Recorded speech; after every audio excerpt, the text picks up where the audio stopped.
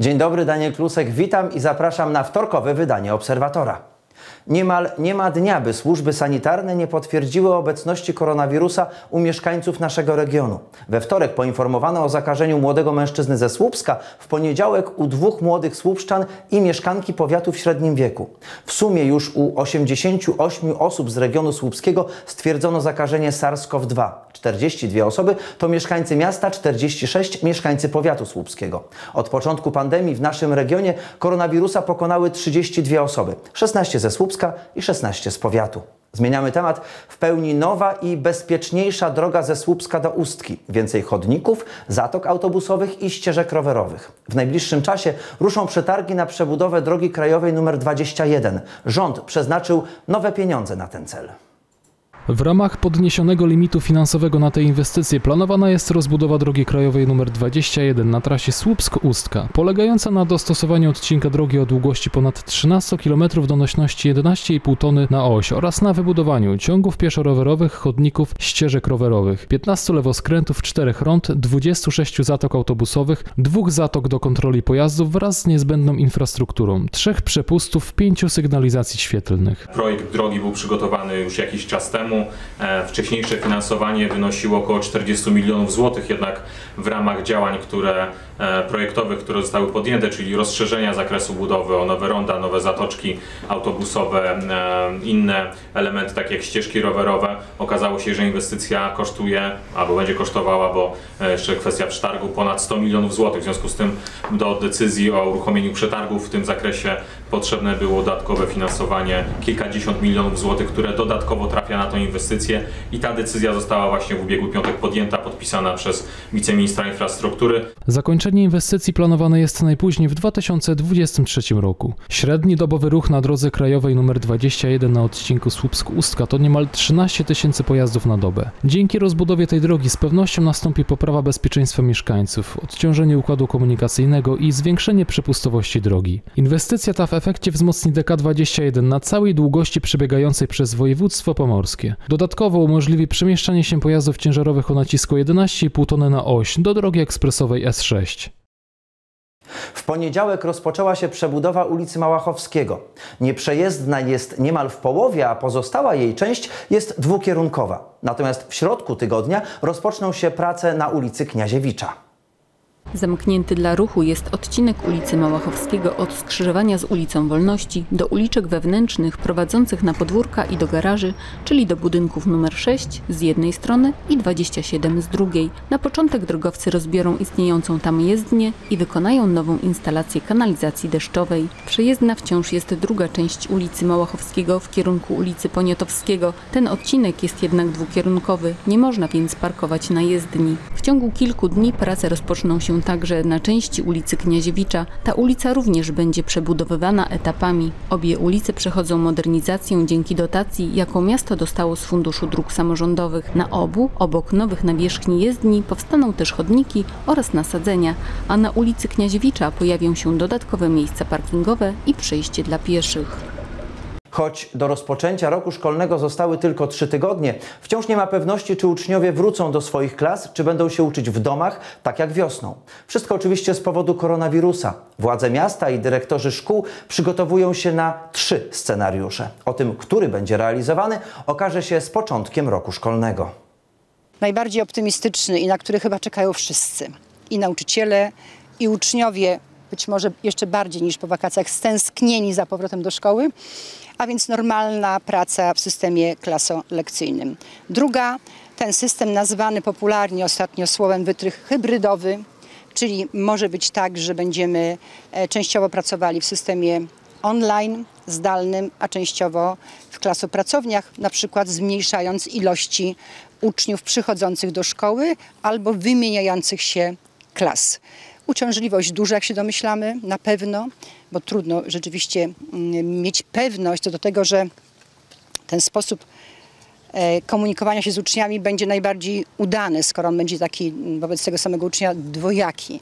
Wiemy, że uczenie to jest tak naprawdę budowanie relacji i lepiej, żeby one miały ten charakter bezpośredni. I trzeci wariant, który jest chyba przez nikogo nieoczekiwany, ale przecież ciągle możliwy, musi być w scenariuszu, czyli wariant znowu lekcji zdalnych, zwanych często online. Różnie to praktykowane jest w różnych częściach Polski. Natomiast jaki wariant będzie e, możliwy, będziemy wiedzieli po e, informacjach z Głównego Inspektoratu Sanitarnego, ale my dzisiaj e, spotykamy się z dyrektorami wszystkich szkół i każdy z tych wariantów musimy po prostu omówić tak, żeby być przygotowanym na te dwa, hybrydowy albo znowu online. Ponad kilogram amfetaminy i 22 kg tytoniu ukrywał w domu i w garażu 23-latek ze Słupska. Decyzją sądu przynajmniej dwa najbliższe miesiące spędzi w areszcie. Policjanci z Wydziału Kryminalnego zajmujący się przestępczością narkotykową zatrzymali 23-letniego mężczyznę, którego podejrzewali o posiadanie narkotyków. Praca operacyjna doprowadziła do ustalenia, że Słupszczanin jest związany ze środowiskiem przestępczym. W trakcie przeszukania jego samochodu, mieszkania i garażu policjanci znaleźli biały proszek i krajankę tytoniu. Dokładne zważenie i zbadanie wykazało, że jest to amfetamina w ilości ponad kilograma i ponad 22 kg nielegalnego tytoniu. Szacuje się, że gdyby zabezpieczony towar bez akcyzy trafił na rynek, uszczupli był Skarb Państwa na kwotę ponad blisko 25 tysięcy złotych. Słupszczanin został zatrzymany i doprowadzony do policyjnego aresztu. Usłyszał zarzut posiadania znacznej ilości środków odurzających. Decyzją sądu trafił do aresztu na okres dwóch miesięcy i wkrótce odpowie za przestępstwo. Grozi mu kara do 10 lat więzienia. Zarzuty posiadania krajanki tytoniowej postawiono także ojcu zatrzymanego. 52-latkowi grozi kara do 3 lat więzienia. Choć w ostatnią niedzielę nie odbył się koncert w ramach Garden Party u Karola, w parku Waldorfa rozbrzmiewała muzyka. Zagrał kwartet smyczkowy Viva la Musica. Publiczność, która licznie pojawiła się w parku, usłyszała w sumie kilkanaście utworów. W programie była muzyka filmowa oraz przeboje muzyki rozrywkowej. Słuchacze rozpoznali fragmenty ścieżek dźwiękowych z filmów, m.in. Gra o Tron, Dawno temu w Ameryce czy Zapach kobiety. Nie zabrakło też utworów z repertuaru Leonarda Cohena i zespołów Queen oraz The Beatles w wersji na smyczki. Połączenie poszczególnych kompozycji było czasem zaskakujące.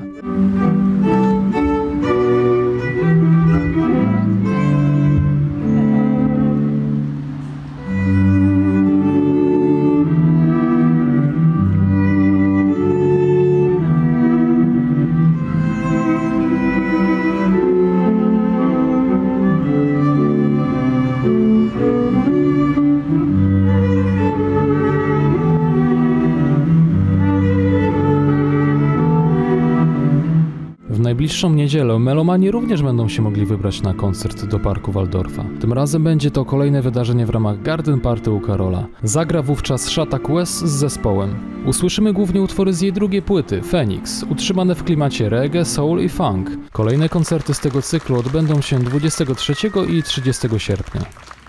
Miody, woski, nektary i wiele innych pszczelich produktów pojawiło się na jarmarku przy ulicy Nowobramskiej. W weekend trwało tam słupskie święto miodu. Pszczelarze, którzy na jarmark przyjechali z całego regionu słupskiego, prezentowali różnego rodzaju miody, ale również inne produkty pszczelarskie. Chętni mogli zobaczyć woskowe świece i ozdoby, a także produkty spożywcze. Ci, którzy przynieśli własnoręcznie wykonane domki dla owadów, mogli liczyć na podziękowanie w postaci słoika miodu. Każdy chętny mógł natomiast zobaczyć pszczele rodziny żyjące w specjalnych gablotach, poznać życie pszczół i ciekawostki na temat tych owadów. Zobaczyć też można było ule zarówno wykonane z desek, jak i te wyżłobione w drzewie. Pszczelarze zaprezentowali także urządzenie i akcesoria niezbędne do pracy przy pszczołach i pozyskiwania od nich miodu oraz innych produktów. Choć święto miodu trwało przez weekend, pszczelarze na jarmarkach na ulicy Nowobramskiej zobaczyć będzie można do końca wakacji. W sierpniu stoiska czynne będą od czwartku do niedzieli, natomiast w pierwszych trzech dniach tygodnia handlować tam będą uczniowie i studenci. Niemal 200 zawodników stanęło w sobotę na startach marszu Nordic Walking i biegu w ramach biegowego Grand Prix Ustka 2020. To było już trzecie w tym roku wydarzenie z tego cyklu. Część zawodników ścigała się również zdalnie. Mieszkańcy Ustki, Słupska regionu oraz turyści, w sumie niemal 40 osób stanęło na starcie marszu Nordic Walking. Zawodnicy mieli do przejścia ponad 3 km, najpierw plażą, potem traktem Solidarności. Na mecie jako pierwsza zameldowała się Janina Rudnik, wyprzedzając Macieja Żabińskiego. Miejscem na najniższym stopniu podium podzielili się Sławomir Kocoń i Eugeniusz Krassowski, którzy wspólnie przekroczyli linię mety. Bieg główny rozpoczął się w południe. Na starcie w Ustce stanęło 101 uczestników. Kolejnych niemal 50 biegło zdalnie, w swoich miejscach zamieszkania rozsianych po całym kraju. Ci, którzy biegli w Ustce, przyjechali z województw pomorskiego, zachodniopomorskiego Pomorskiego oraz z Wielkopolski. Zawodnicy do pokonania mieli trasę o długości ponad 10 km.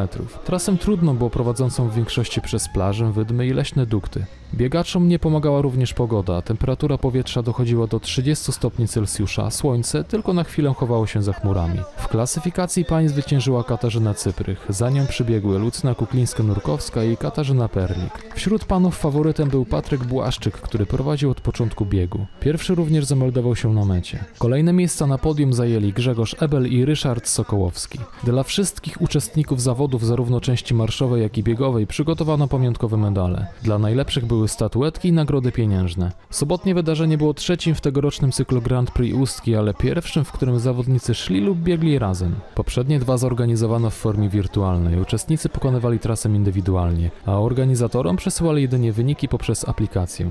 Jesteśmy podczas e, trzeciego biegu ustęckiego Grand Prix rozbiegana Ustka. Takie oto medale czekają na e, wszystkich e, uczestników naszego biegu.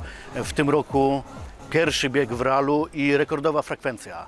E, Ponad e, 150 zawodników stanęło na linii startu, ale też rekordowa frekwencja, jeśli chodzi o marsz Nordic Walking, ponad 40 e, zawodników. Mamy nadzieję, że względy sanitarne pozwolą nam również kolejny, czwarty bieg przeprowadzić w realu. Ostatnie zawody tegorocznego biegowego Grand Prix Ustki planowane są na 3 października. Biegowe Grand Prix Ustki nie było jedyną sportową imprezą w weekend w tym mieście. Miejscowy Jantar podejmował słupskiego Gryfa w drugiej kolejce czwartej ligi piłkarskiej. Gospodarze ulegli gościom 0 do 5. Po tym zwycięstwie drużyna ze Słupska jest na drugiej pozycji z czterema punktami. Zawodnicy z Ustki zamykają tabelę na 21 miejscu i z zerowym dorobkiem punktowym. W najbliższą sobotę słupscy piłkarze na własnym boisku podejmować będą drużynę Wieżycy Decka Pelplin, natomiast ustecki Jantar zagra na wyjeździe z Gedanią Gdańsk.